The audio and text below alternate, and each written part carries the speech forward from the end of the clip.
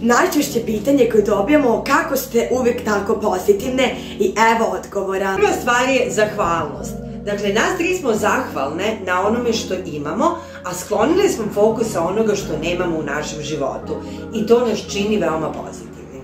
Druga stvar je da budemo prisutni u sadašnjem trenutku. Dakle, da se ne obaziramo mnogo na greške koje smo počinili u prošlosti i da ne brinemo puno o budućnosti. Uživajte u svakom trenutku.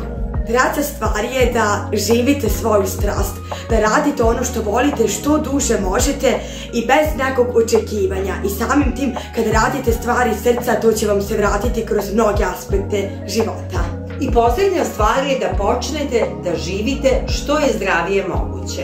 Prvo da krenete da se hranite zdravije, dakle da izbacite sve industrijski prerađene proizvode i proizvodi životinskog porekla jer vam oni truju organizam i to ne utiče dobro na vašu psihu kao i da budete fizički aktivniji, s tim dolazi i treniranje, jer se dokazano i luči hormon sreće, a i povoljno utiče na ceo organizam i sve organe i da radite na svom mentalnom zdravlju tako što ćete izbaciti iz svog okruženja sve one toksične ljude koji pokušavaju da vam uruše samopouzdanje i negativno utiču na vaše misli i emocije.